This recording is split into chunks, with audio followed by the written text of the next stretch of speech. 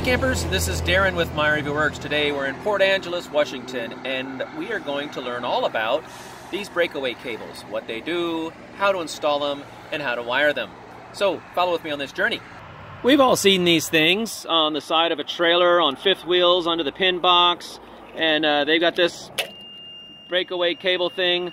What is up with this? What do they do? So on this installment, I want to go into a little bit more detail on, on how important they are, how you're properly supposed to install them, and how to wire them and what they do.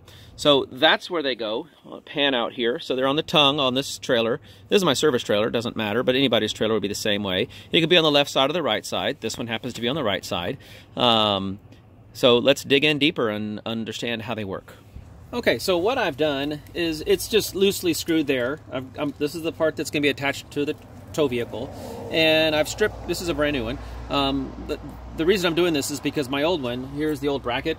Um, I was doing a pre-trip and um, it's always good to test this. This is kind of an important safety feature. So I, your homework assignment is to go test yours. It's a $16 part. It's not worth destroying everybody on the highway because your trailer broke away. Um, so uh, 16 $17 part plus or. And um, so it's part of your pre-trip. You pull this out, and on this particular day, I went to pull mine out, and the whole thing just fell apart. So it's time to put a new one on there. I figured, well, here, let me take you on the journey on fixing mine. So here's the wire. I've stripped the ends of it, and I've put it on my meter. And what I'm going to do is put my meter on um, uh, the the beep mode, continuity tester. Okay, and in that mode, when I touch these two wires together, it's going to beep. Okay, so uh, polarity does not matter, so let me plug these back in here. All right, so we're plugged in, nothing there. When I pull this out, zero resistance. So this is nothing more than a switch. Um, that's really all it is. But instead of like a house switch or something where you have a toggle switch, when this pulls out, you're, you're, there's contacts inside and this plastic piece keeps those contacts separated. All right, enough from you. And when this pin pulls out, they touch, thereby connecting these two wires. Why is that important? We'll get into that next. Okay, so here's here's a scenario. Here's my trailer ball, here's my hitch. Uh, let me plug this back in. This connects to my tow vehicle um, different ways. Sometimes what people will do is during their pre-trip, they're already going to unplug this. So they'll unplug this, loop this around something, loop it back through, making a, a lasso. Okay, so now it's, you, you don't want to put it on the tow chain. It needs to really be attached to the tow vehicle. Something solid, something stout. Um, on mine, I hook it up to these eye bolts down here. And uh, so here's the scenario. Let's say that, uh, I don't know if this is really in the shot, but, but I've got a pin, so this is a receiver hitch, and I've got a pin holding on my weight distribution assembly here. Let's say that, that this cotter pin came out, or somehow the pin fell out, and now, who knows, this whole receiver could fall out of, of the truck. Okay, that's something that could happen.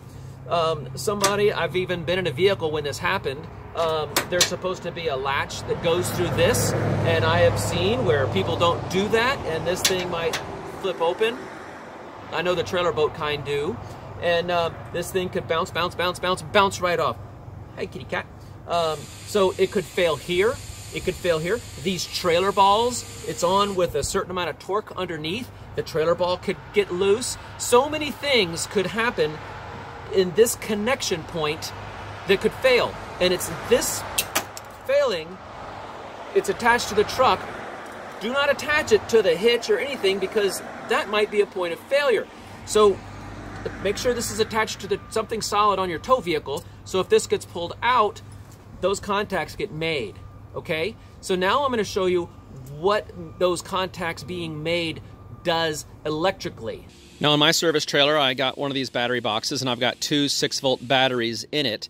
There's one of them right there. I've took I've taken that battery out to give me some space to, to show what's going on in here and also for me to get the wiring done. Okay. From our breakaway switch, there are two black wires that leave that switch. And here they are right here.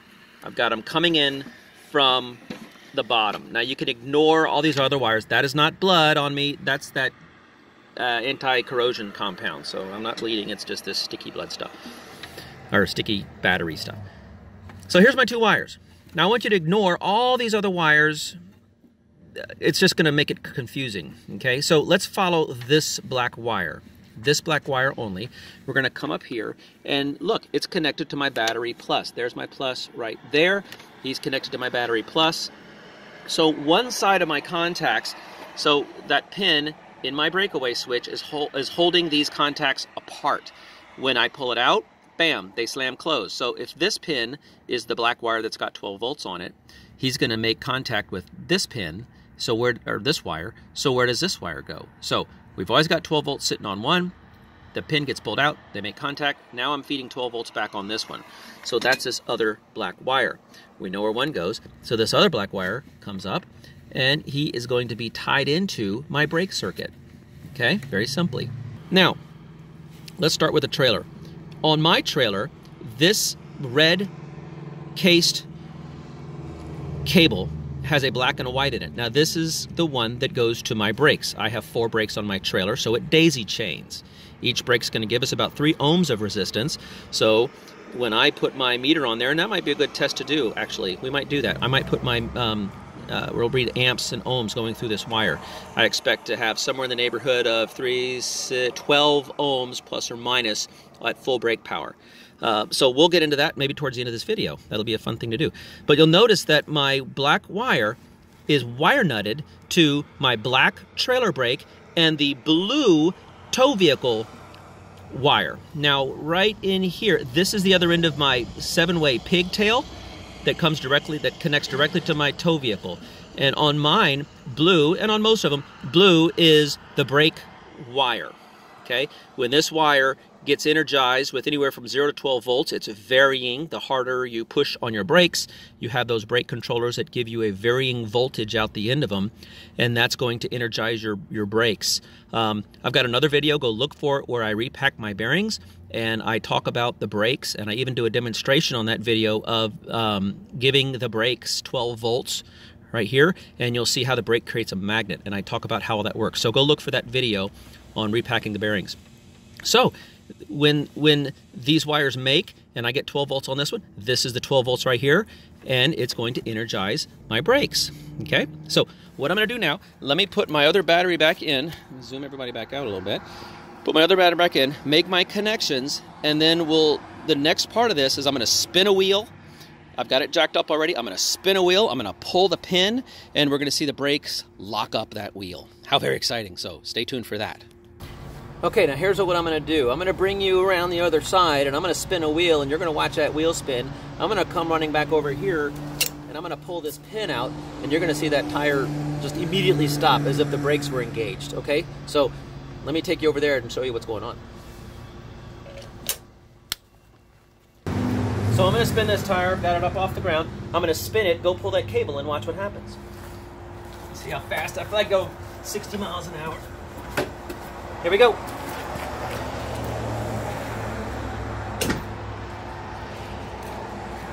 Did you see that? It doesn't get any better than this, folks. So I pulled the cable. This is locked up. I I can go back. I can't go forward at all. It's totally engaged. So uh, that's what a breakaway cable does. Isn't that cool? Okay, let's button this up.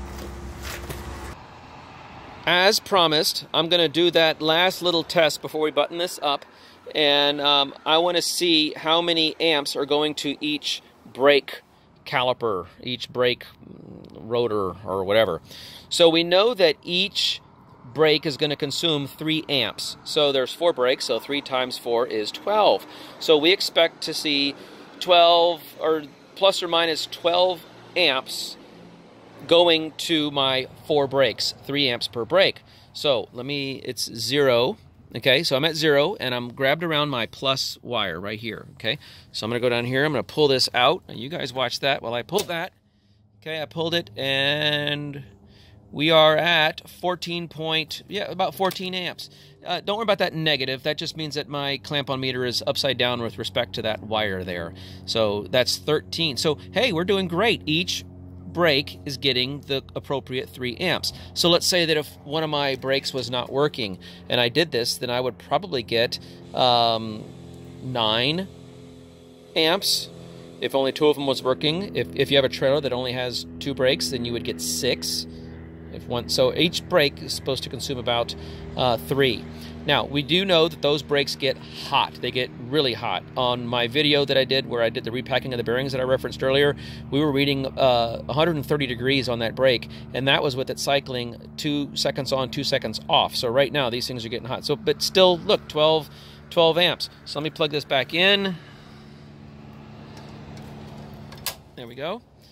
And we're back down to zero again. So that was kind of exciting. So there's another little thing you can do. If you have a meter that reads DC amperage, you can easily test to see if all your brakes are working when you're doing your pre-trip. Okay, folks, we're at the end of the journey.